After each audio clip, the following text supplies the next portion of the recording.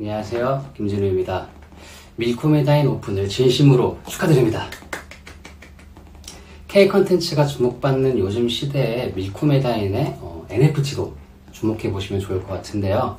제 첫 NFT는 여기 옆에 있는 아티스트입니다. 귀엽지 않나요? 네. 여러분들도 밀코메다인의 NFT 함께 하시길 바라겠습니다. 네, 안녕하세요. 공현주입니다. 밀코메다인 갤러리 오픈을 진심으로 축하드립니다. 어, 이렇게 멋진 액자까지 주시고 또 강남에 아주 커다란 대형 갤러리가 오픈한다고 하니까 너무너무 기대되는데요. 저도 꼭 한번 들러서 멋진 전시 구경해 보도록 하겠습니다. 축하드려요.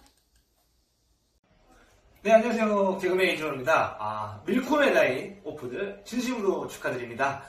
밀코메다N은 총 다섯 가지 종족이 있는데, 저는 아티스트가 마음에 들어서 선택하게 됐습니다. 자, 여러분들도 첫 NFT 밀코메다N과 함께 하시길 바라겠습니다.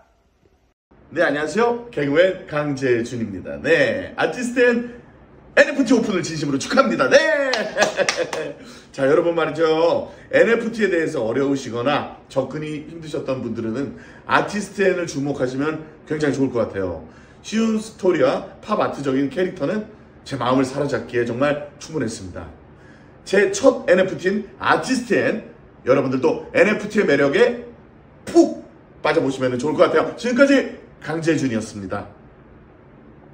안녕하세요. 김종민입니다. 아, 밀코메다N 오픈을 진심으로 축하드립니다. 잘은 모르지만, 아, 저도 이제 NFT 이제 관심을 많이 갖고 있는데, 어, 요즘 또 유행처럼 이렇게 좀 많이 가는데, 또, 어, 한국에서도 이렇게 오픈을 한다고 하니까, 아, 저도 관심을 좀 많이 갖고 보고 있습니다. 아무튼 우리나라에서도, 어, 외국까지 쭉쭉 뻗어나가서, 어, 정말 대박나는, 어, 그런 NFT가 됐으면 좋겠습니다. 아무튼 오픈을 진심으로 축하드립니다!